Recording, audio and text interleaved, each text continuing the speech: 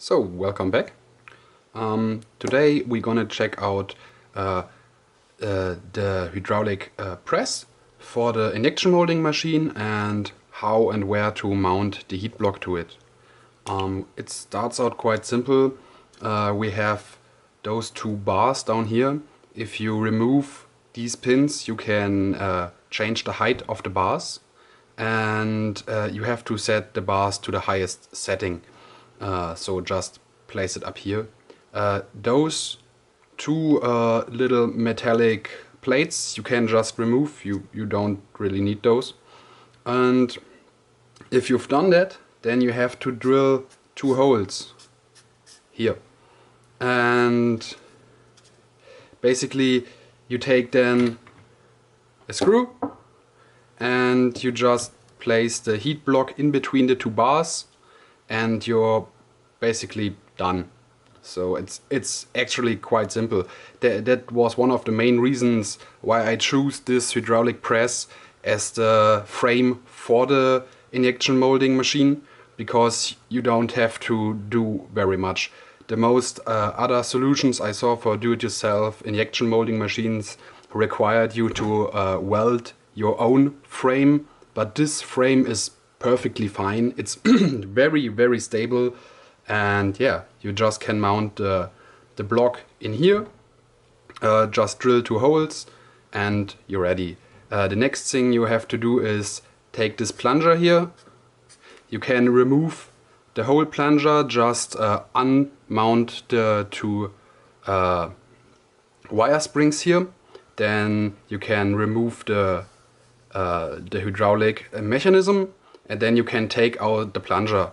Then you drill a hole into the end of it and use an M8 tab to uh, make some threads into it and then you can mount the the end of the piston so it goes tight into the heating block. Uh, that's basically it for the mounting. Uh, what I did on on my uh, press, I uh, took a, a board of a board of wood, a wooden board, uh, for the PID controller.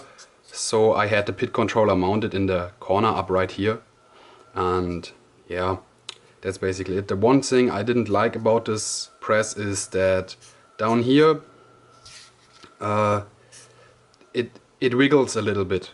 Um, I'm not sure if this only on on my model or if is it or, or if it is a general problem. I solved it by just shoving a little bit of wood below this part here and now it stopped wiggling.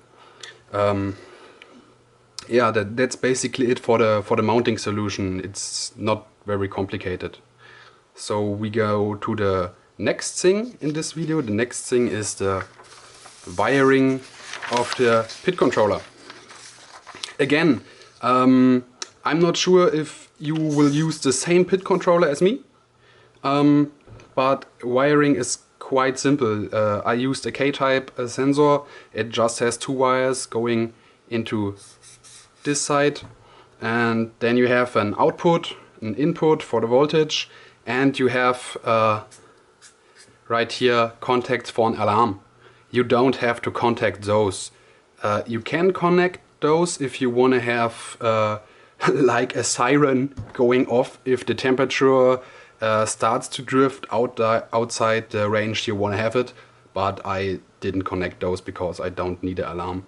And yeah, um, if you use the same heating elements as I did, uh, then you have to be quite careful because it's powered at uh, 22 uh, 220 AC and uh, yeah you, you have to be really careful that the heating elements the wires that go into the heating elements yeah the heating element is uh, this cartridge with two wires going in and those are insulated yes? But they get really hot they get red hot glowing and the insulation pulls a little bit back. So you have a small uh, place where you have uninsulated 220 volt wires next to each other. Don't don't uh, jam a screwdriver in it or you will see some sparks. Also be really careful that you isolate everything very well. You don't want to have the AC power touching the frame of the uh, of the uh, press because the press is completely metal. I mean, it it has uh, paint on it, so it's not that conductive, but you don't want to risk anything when working with AC power. And yeah, that, that's basically it. If you don't use the same uh, PID controller as I did, you may need to wire something else. Um, but if you use this one, you can just use this diagram right here.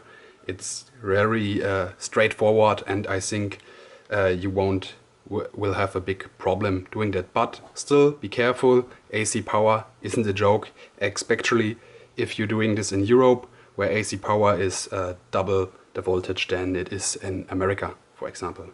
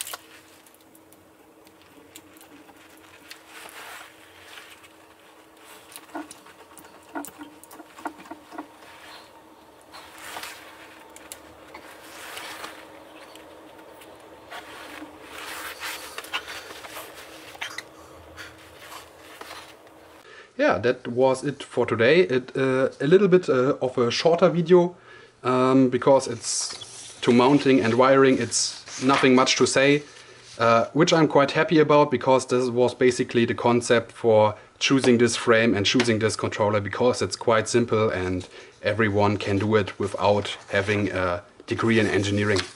So, see you next time.